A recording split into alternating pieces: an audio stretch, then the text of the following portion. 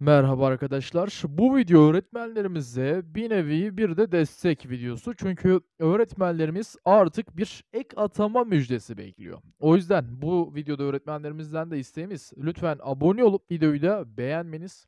En azından videoyu 100 beğeniye geçirmeniz. Çünkü bu süreç içerisinde gerçekten gündeme girmemiz gerekiyor her platformda. Şimdi şunu söyleyelim artık. Evet videomuzda da geçmiş olalım. Öğretmenlerimiz ek bir atama istiyor. Tabii ki ihtimaller doğrultusunda ek atama ihtimali var. Onu zaten sizlere sık sık söylüyoruz.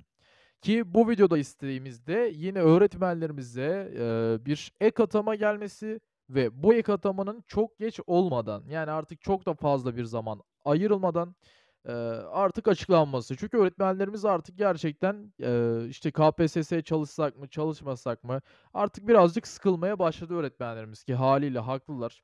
O yüzden bir an önce net bir cevap gelmesini istiyorlar. En azından olmayacaksa da olmasın diyorlar veya olsun, açıklansın istiyorlar. O yüzden bizler de desteğimizi sürdürüyoruz.